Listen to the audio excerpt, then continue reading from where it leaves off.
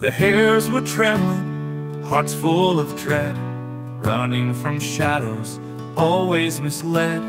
Tired of hiding, tired of the chase, they thought of escape from this fearful place. Let's leap to the water and end it all. No more fear of the hunter's call. But as they dashed toward the lake so and the hares stopped their stride.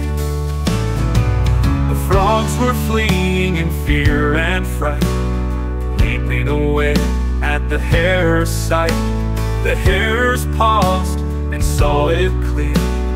Even the smallest creatures knew fear.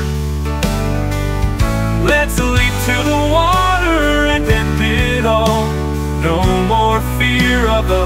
hunter's call. But as they dashed toward the lake so wide, the frogs jumped in and the hares stopped their stride.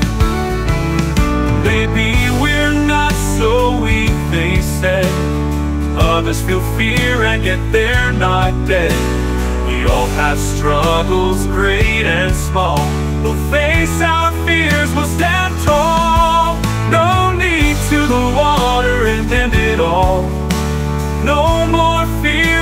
hunter's call. But as they dashed toward the lake so wide, the frogs jumped in and the hares stopped their stride.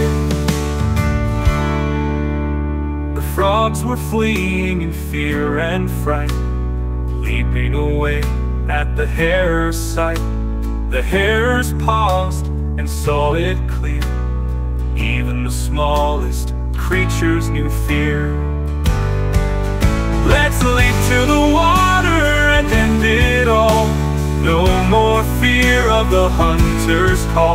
But as they dashed toward the lake so wide, the frogs jumped in and the hares stopped their stride. Maybe we're not so weak, they said.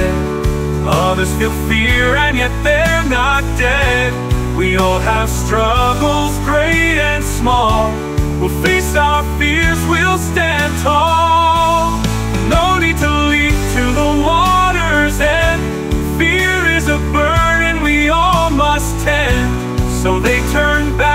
A newfound grace and found the courage to stay in their place. The hares learned that day to carry on. Fear's not a weakness, it's shared by everyone. We're all frightened hares, at times it's true.